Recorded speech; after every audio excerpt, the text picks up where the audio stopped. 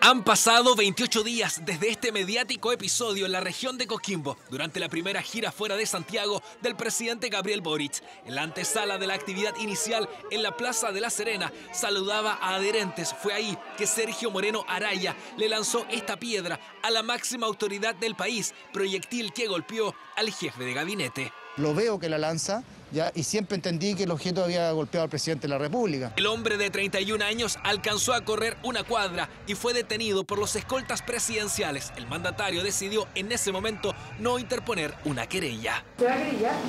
Mira, no, no, no tengo eh, algo que muy menor que pasó recién, no estábamos en otra agenda mucho más importante en este momento que lo que me mueve hoy día es por la región de Coquimbo.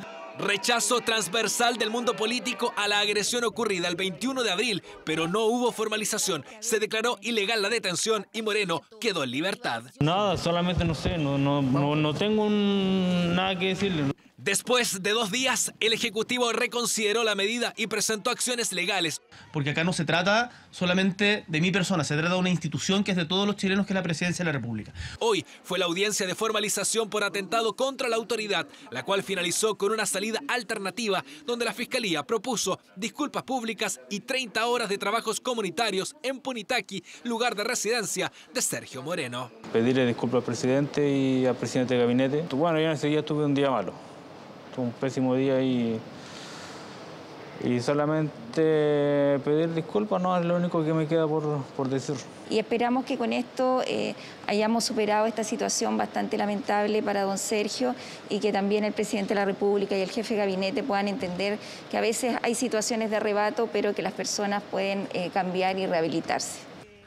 Disculpas públicas que fueron valoradas por el presidente Boric, que insistió en manifestar las diferencias a través del diálogo. Entendamos que la manera de manifestar las diferencias entre ciudadanos, las diferencias políticas que son legítimas, no es tirando piedrazo, no es insultando, no es agrediendo, sino es conversando, dialogando Al acceder a una suspensión condicional del procedimiento, Sergio Moreno debe cumplir con las 30 horas de trabajo comunitario, las cuales aún no se han detallado ni tienen fecha concreta de realización. De lo contrario, el procedimiento se reactivará y deberá enfrentar a la justicia. El imputado deberá realizar trabajos comunitarios por 30 horas Si cumple con la disposición judicial, será totalmente sobreseído y la causa se archivará.